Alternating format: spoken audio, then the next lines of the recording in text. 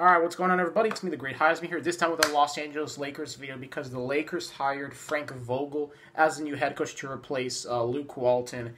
And looking, I looked up uh, this guy, and so far this looks like a very solid hiring for us. Let me explain to you guys why. Because uh, originally he uh, he spent seven seasons with the uh, with the Indiana Pacers. Yeah, I think it was seven seasons. No, six seasons. Sorry, he spent six seasons with the Pacers, and he and out and and in uh, in five out of those six seasons, he took them to the NBA playoffs. So that is good. He made it to two conference finals with uh, with the team, and you know he he he made the Pacers uh, a good playoff caliber team. So that's good.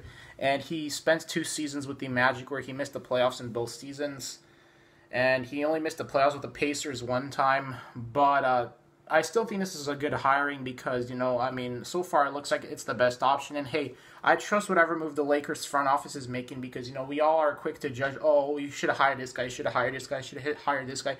But then again, it's like those guys know more about basketball and coaching philosophies than we do. Okay, so, uh, yeah, that's why I kind of like the Frank Vogel hiring. And I'm hoping that, uh, that he's going to help motivate this Lakers team and take them to the promised land, and he's going to be able to unleash uh, unleash Lonzo Ball. And hopefully he can help us develop a good team chemistry now. The only thing that I'm hoping he's going to be able to use help do is uh, use Phil Jackson's triangle offense because that is what was the success and the foundation of the Los Angeles Lakers and their NBA titles they won was the triangle offense when they were with Shaq and Kobe. Now, granted, uh, we uh, I'm not gonna judge this. I'm not gonna make my judgment on this decision until after next NBA season. But I'll probably make another separate video on what the Los Angeles Lakers need to do this NBA off season and all that stuff. But um, I like this hiring. I like it. I like it. You know, uh, he very respectable with the Pacers, and hey, man, uh, I think it's a good hiring. Good hiring and hopefully he'll be able to help discipline and motivate this team and and you know that's going to be the main key because uh, he won the NBA All Star uh, Game Head Coach Award in 2014.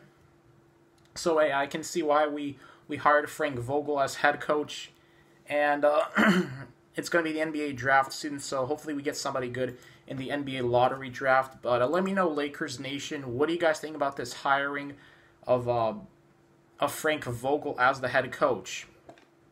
If you like it, if you don't like it, let me know in the comment section below because I'm interested to hear what you guys uh, think about the hiring. And what all I can say is Frank Vogel, welcome to the Los Angeles Lakers. And yeah, so uh, let's see what he can do with us. Let's see what uh, what we're going to be able to do. The, the, reason why I think he didn't, he never made to the NBA Finals with the Pacers was simply because of the Big Three. You know, I mean, I think the Big Three are a big reason why he never made it to the NBA Finals, simply because the big three were too good. But uh, Frank Vogel looks like a very solid hiring for the Lakers. He can just be the type of head coach to help take us back to the playoffs and eventually the promised land. So he's got really good experience as head coach. And yeah, I'm impressed by his resume. And that's pretty much the video, Lakers Nation. And all my Laker fans, let me know what you guys thought about this hiring. If you enjoyed this video, make sure to like, comment, subscribe, and I'll talk to you guys later. Bye-bye, and to go Lakers.